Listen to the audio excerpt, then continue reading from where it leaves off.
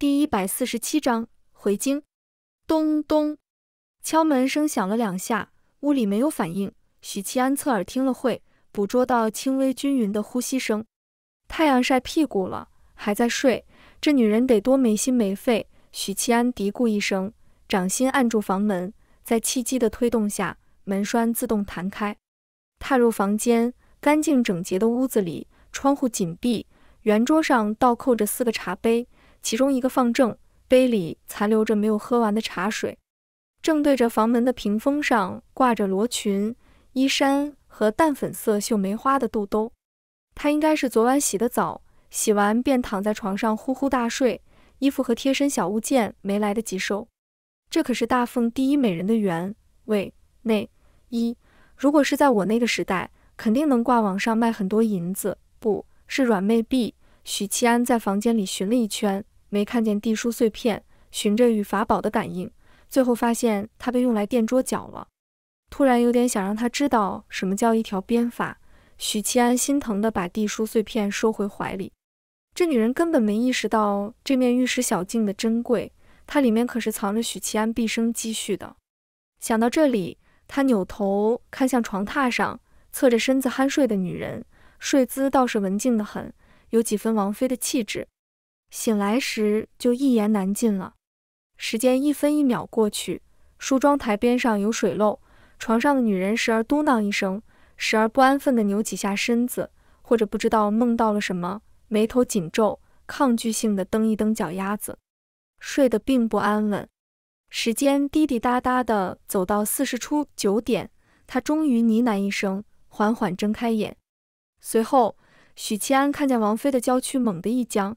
接着缓缓松弛，他端着茶杯喝了一口，对他笑道：“醒了。”见到他，王妃眼里隐晦的闪过惊喜，支起身，故作漫不经心的姿态：“你怎么回来了？想明白了对吧？镇北王是三品，整个大凤都没人比他更厉害。你能趋利避害也挺好。”顿了顿，语气略转柔和：“这件事交给朝廷处理便是，没必要你去逞威风。”王妃昨晚辗转反侧，难以入眠。这一切当然和她担忧许七安被镇北王杀死没有一文钱关系。许七安淡淡道：“镇北王已经死了。”王妃呆在那里，如同雕塑。我我不信。她死死盯着许七安，这又不是什么值得开玩笑的事。许七安没好气道：“堂堂亲王被杀，这么大的事，我骗你作甚？”王妃愣愣地看着他。颤抖道：“当当真？”许七安点头。他看见王妃长长的睫毛颤抖了一下，一颗泪珠滚落，两颗、三颗、四颗泪珠如断线的珍珠簌簌而落。他为自由而哭泣。许七安想着自己和他也没那么熟，便冷眼旁观大凤第一美人嘤嘤的哭。等他哭完了，许七安才总结性的安慰道：“你已经自由了，九州之大。”想去哪儿就去哪儿，和蒙多一样。他哭哭啼啼的抹着眼泪，不忘问道：“蒙多是谁啊？”这么无聊的问题，许七安懒得搭理他。吃早膳的时候，情绪恢复的王妃在只有两个人的房间里，鬼祟地说：“是不是你杀的？”许七安摇头：“镇北王这么强，我怎么打得过他？是因为有神秘高手出现，把他当场斩杀。”此事使团众人可以作证，以后你就知道了。王妃哦了一声，也觉得不太可能是许七安做的。自己是个聪慧而理智的女子，又不是京城里那些盲目崇拜许银罗的无知少女。镇北王虽说性情桀骜无情，但修为是不打折扣的，要比现在的许七安厉害很多很多。他捧着葱油饼啃着，小手油汪汪、亮晶晶的眸子在许七安头上徘徊。你头发怎么长回来了？我本来就有头发，你没有，我有。你，王妃被许七安用筷子敲了一下，识趣的改口：“你有。”得益于神书的强大，许七安的头发终于再生回来。三品武夫能断肢重生，何况是头发呢？这是一件让许七安很是欣慰的事。更欣慰的是，自己一直把光头保护得很好，戴着貂帽。别人并不知道头发的生长情况，以后在外面还是戴着貂帽，等过段时间就可以摘下来了，我还是那个长发飘飘的少年郎。许七安开心地想。吃完早膳，他坐在梳妆台前，镜子里是恢复了原样的许七安，剑眉星目，鼻挺，嘴唇偏薄，脸颊轮廓偏硬朗，整体透着男人俊朗阳刚的美感。与唇红齿白的许二郎，眉目如画的南宫倩柔是截然不同类型的帅哥。王菲坐在床边，晃荡着脚丫子，看着他结发髻，问道：“我以后怎么办呀？”许七安盘着头发。事不关己的语气，都说了你想去哪儿就去哪儿。察觉到许七安不太想管自己，他有些赌气地说：“再借我十两银子，我要回江南穆家，以后有钱了，托人把银子还你。”他，许七安把一锭银子放在桌上，竟如此干脆。王妃咬了咬唇，板着脸把银子收好，然后他默不作声地把脏兮兮的几件贴身衣服打包好，小包裹往肩上一背。宣布道：“我走了，去吧。”许七安点头。王妃深深看了他一眼，猛地转身跑出房间。跑出客栈后，他独自一人往城外走，穿过熙熙攘攘的人流，穿过闹市和长街。这座城并不大，很快就走到城门口。可是看着宽敞的城门，王妃突然胆怯了。那仿佛不是通往自由的途径，外面的世界那么危险，人心那么复杂。他十三岁时便被家族送进宫，换取高官厚禄。他在层层宫闱里生活了许多年，而后又原景帝转赠给镇北王，在王府一住就是二十年。他渴望获得自由，渴望无拘无束。可当自由唾手可及时，他突然明白自己根本无法在外面生存。他就像关在笼子里的金丝雀，二十多年的锦衣玉食让他丧失了飞往自由天空的能力。尽管可以回到娘家，可那不过是被父母再卖一次，不大概率是他刚回府，第二天就被族人重新送回皇宫。他茫然地处在原地，许久后，他不再茫然，只是眼里的亮光一点点熄灭。王妃低着头看着脚尖，肩膀瘦削，背影单薄，像一个无家可归的小女孩。这时，身后传来男人的叹息声：“小婶子，我想了想。”觉得还是要带你一起走。王妃赌气，没有转过身来。许七安走到她前面，蹲下来，没有说话。闻言，王妃用力瞪了他背影一下，他嘴角轻轻翘起，张开双臂扑倒他背上。出了城，许七安背着他沿着官道狂奔。这时候，他就有点想念心爱的小母马。我很麻烦的，王妃在他耳畔轻声说。温热的吐息喷在许七安耳垂，让他不由皱紧眉头。耳垂是许白嫖敏锐地带，这个秘密只有福香知道。你倒是有自知之明。许七安问道：“你这副模样，元景帝知道吗？”王妃摇头，但他知道我有改变容貌的法器。我好几次偷偷溜走，他肯定也知道的，但没见过我这副模样。他想了想，补充道。王府的侍卫见过我这个样子。许七安没有作答，思考起来。镇北王虽然死了，但王妃依旧是香饽饽，元景帝绝对不会对他不闻不问。虽然使团上下一致认为王妃被蛮族掳走，可那些丫鬟知道我最后找到了他们。当然，他们并不知道我打败蛮族强者救回王妃。可他们能存活下来并顺利回京，这本身就是一个疑点。虽说无法作为我救回王妃的证据，可只要有疑点，元景帝绝对会派人来查，都不用监视，直接光明正大的查。所以王妃不能随我回府，但可以养在外面。京城人口三百万，不可能挨家挨户的找，而且并没有任何线索指明我把王妃带回了京城。最好的办法是把她养在外面，离徐府不远，但也不能太近。考虑好细节后。许七安满意的点头，觉得很稳妥。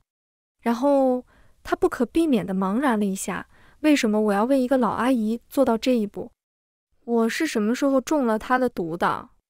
许七安没有往楚州城方向去，打算先去和郑兴怀会合，把他带去楚州城。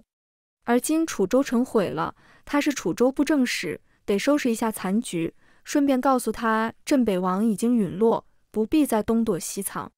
途中，他故意要求金莲道长屏蔽天地会成员，与李妙真开启私聊，问他身在何处。毫不意外地被天宗圣女臭骂一顿，而后被告知镇北王陨落的消息。许七安大吃一惊，直呼不可能，充分表现出一个震惊党该有的素养。这让李妙真心里微微得意，便不再那么生气。他放鸽子。随后。许七安让他以找正在赶来的路上的许银罗为由，离开楚州城来山谷会合。中午时分，许七安终于带着王妃抵达山谷。当日拜别郑兴怀，他在附近的县城找一家客栈安置王妃。两地离得不远。山洞里篝火熊熊，李汉和赵进哥们俩分别烤着山鸡、野兔、鲜鱼等猎物。高瘦的申屠百里闭着眼睛盘膝吐纳。膘肥体壮的魏游龙擦拭着大砍刀，沉声道：“不知道许银罗和飞燕女侠怎么样了？阙永修和镇北王残暴凶狠，如果被他们发现端倪，很可能招来杀身之祸。而他们如果出了意外，那我们极可能被顺藤摸瓜。”军武出身的枪兵唐有慎目光锐利地扫向洞口，而后又收回目光，抱着长枪闭目养神。郑兴怀摆摆手，声音轻。但语气透着笃定，不会的。他们两人即使一无所获，也不会被镇北王和阙永修盯上。容貌姣好的少妇问道：“郑大人为何如此肯定？”郑兴怀道：“飞燕女侠闯荡江湖，好管闲事，能博下这么大名声，又安然无恙，绝非鲁莽之辈。至于许银罗破一次大案，也许是运气，但这一桩桩一件件的，足以说明他的能力。”众人缓缓点头，无论是飞燕女侠还是许银罗，都是让人有踏实感的人中龙凤，是那种把事情交给他们就会无比安心，不用整日担心受怕的人物。这时，申屠百里猛地睁开眼，声音低沉且急促：“有人来了！”李汉和赵进下意识地丢掉猎物，抓起各自的兵器，与众人冲出山洞。一男一女结伴而来，男子阳刚俊朗。气度不凡，正是银罗许七安。至于女子，他们只是看一眼便忽略，脚步行走没有章法，颠颠地跟在许银罗身边，姿色平庸，疾走间带着微微的气喘，是个再普通不过的女子。后头的正部正使迎上来，拱手道：“许银罗。”他身后的武夫们带着诧异。许银罗前天夜里还信誓旦旦地说要去楚州城查案。岂料今日便返回，此地距离楚州城有数百里，这点时间不够一个来回。许七安没有废话，开门见山地说道：“我收到消息，镇北王已经陨落在楚州城，我是来接你们过去的。”晴天霹雳，正不正使脸色倏然僵硬，眼睛缓缓瞪出，嘴巴慢慢张大，让许七安明白，原来这才是震惊党的真正素养。众侠士无声对视，都从彼此眼中看出不信二字。是，是不是收到的消息有误？正不正使跨前几步，脸上表情复杂，一边奢望消息属实，一边又认定许七安收到的是错误消息。申屠百里等人没有说话，但也认为不正使大人说的有理。千真万确，镇北王就是我亲手宰的。许七安笑着点头，没有错，是真的。砰砰砰砰！正不正使听见了自己狂乱而激烈的心跳声。飞燕女侠很快就来，她知道事情的经过。许七安把锅甩了出去。众人随后返回山洞，在忐忑的情绪里等待着。王妃乖巧地坐在许七安身边，小口小口地啃着鸡腿。大凤第一美人在努力扮演一个微不足道的路人甲。来时的路上。他从许七安口中得知郑兴怀的身份，明白他的家人死于屠城。尽管自己和镇北王并没有感情，可毕竟是有名分的夫妻。王妃对郑大人心怀愧疚。半个时辰后，李妙珍来到山谷，降下飞剑，轻飘飘落入山谷。他环顾着早已等在洞口的众人，微微颔首，又在姿色平庸的王妃身上顿了顿。飞燕女侠，许银罗说说。镇北王陨落在楚州城，正不正使急走几步，直勾勾地盯着他。李妙珍给予肯定答复：“是的，他的尸体还在楚州城。”当即把楚州城的战斗经过简单的说了一遍。正部正史听完，缓缓点头，他布满血丝的双眼扫过众人，低声道：“本官，本官想一个人独处片刻。”拱了拱手，转身慢慢走回洞窟。几秒后，里面传来撕心裂肺的哭声。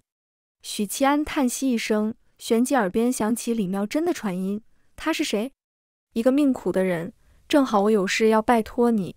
写图三千里案已经尘埃落定，善后的事不必你操心。你能帮我带他回京吗？切记不要招摇，最好先找个客栈歇下来，等我回京。”许七安传音回复。李妙珍不作答，审视王妃片刻，撇撇嘴，传音道：“命苦之人，所以要带回京安置。”这妇人倒是一副好生养的模样，只是你何时变得这般饥不择食？妙真啊，不是我贬低你，摘了手镯的他可以很自信地说一句，在座的各位都是垃圾。许七安察觉到李妙真有些不高兴，便没有回应，只是拱了拱手，然后转身对王妃小声说道：“她是我小妾的娘家人，可以信任，你先随她回京，听她安排。”王妃闻言。柳眉轻蹙，他是第一次听说许七安有小妾，不过想到他的身份和地位，想到他这样的教坊司常客有小妾，难道不是很正常吗？嗯，他冷淡的点点头。三日之后，昼夜兼程，马不停蹄的正步正使，在十个月余，终于重回楚州城。头发花白的郑兴怀一步步登上城头。他看见昔日繁华的楚州城已经化作废墟，到处都是残垣断壁，大地满目疮痍。北面的城墙坍塌了一半，西边的城门也被撞塌。两万多名士兵分散在城中，各自忙碌着，有的搜寻粮食、米面等食物。虽然城市破坏严重，但藏在地窖里的物质保存完好，且坍塌的废墟里也能找出很多物资。有的士兵在修建房屋。充当临时军营，为两万多名士兵提供暂时的住所。有的士兵在修补城墙，有的士兵在埋葬尸体，有同袍的，有城中百姓的，也有蛮子和妖族的。这些工作已经有条不紊地进行了三天。史书必定会记下这件事，警醒后世之人，同时也会把镇北王的罪过记下来，让他遗臭万年。刘御史出现在他身边。使团这边已经从李妙珍口中得知郑兴怀死里逃生的事，明白他们在城中见到的郑兴怀是假的，多半是那个三品巫师的手笔，否则不可能瞒过四品的杨艳。朝廷真的会定镇北王的罪吗？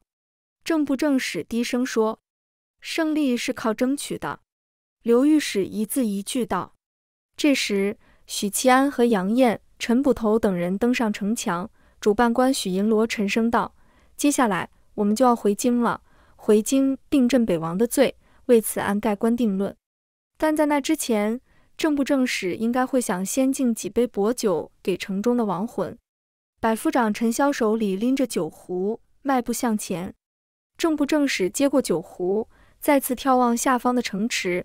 在祭拜之前，他想留点时间回忆自己的前半生。郑兴怀出生在被誉为大奉两大粮仓之一的漳州，但他幼时家里很穷，靠着母亲给殷实人家洗衣服、做绣工，艰难度日。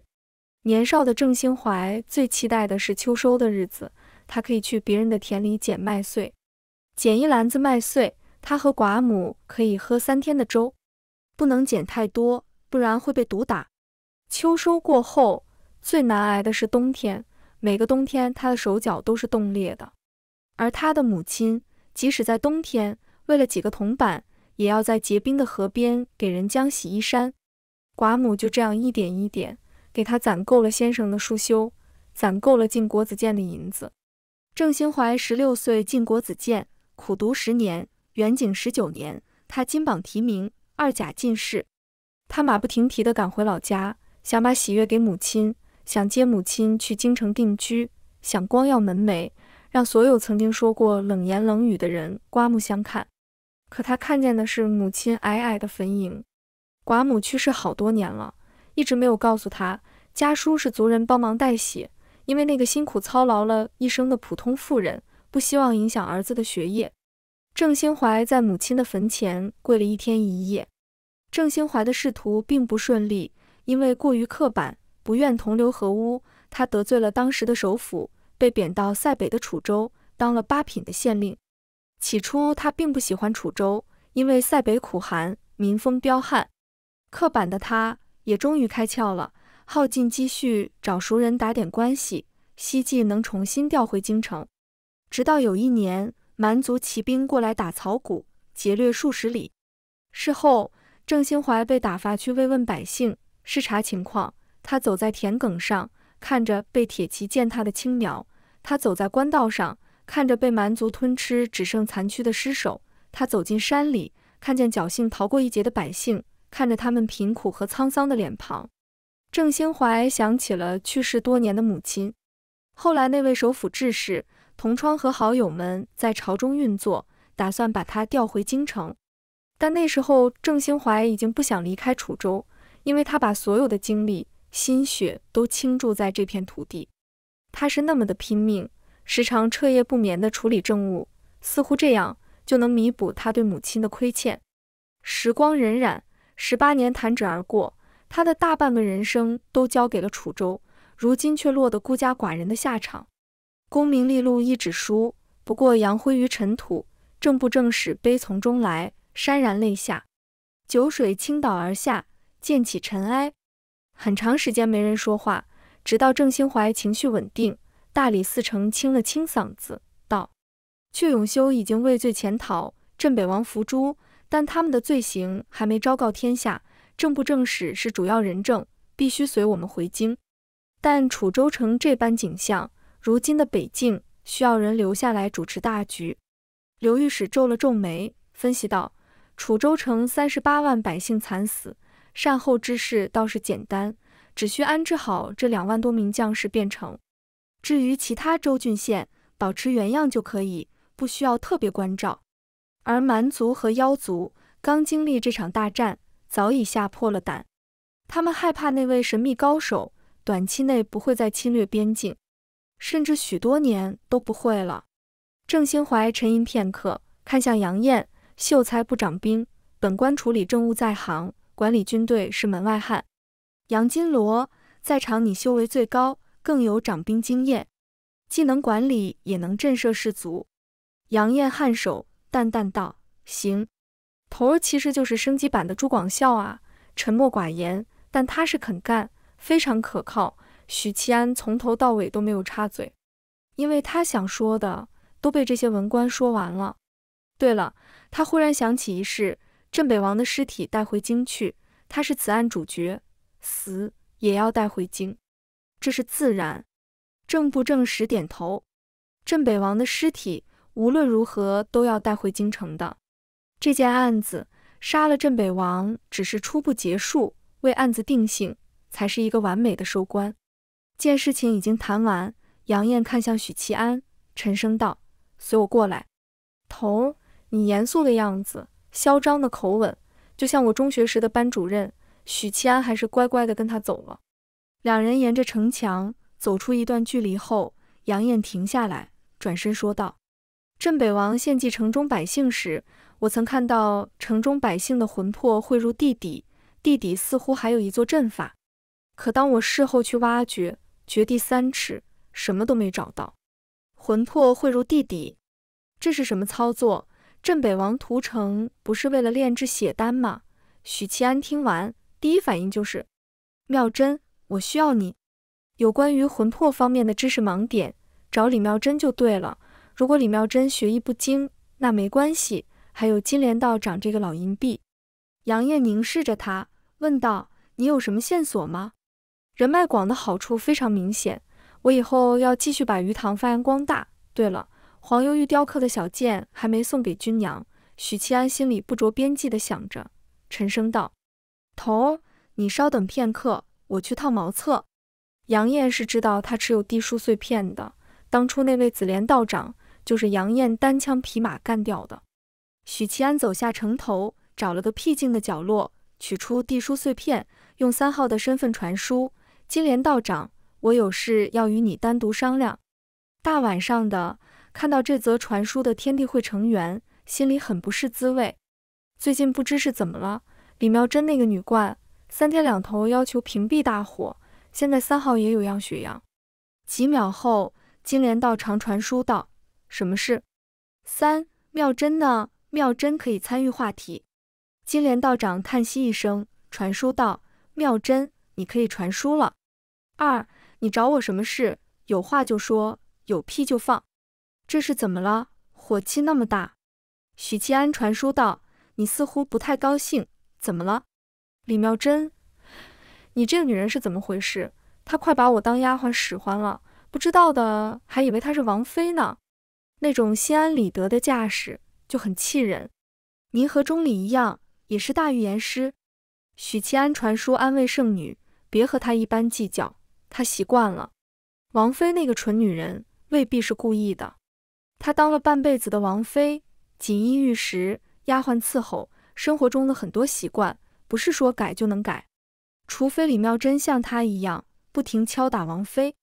李妙珍有事说事，别打扰我打坐。明显是余怒未消，带着火气啊！我还是哄哄她。许七安传书道：“我觉得你不必这么刻苦，以我们飞燕女侠的天资。”只需要把部分精力放在修行，就能傲视同辈。李妙真传书，哼，我觉得你在骗我。他心情稍稍好转。许七安，金莲道长觉得呢？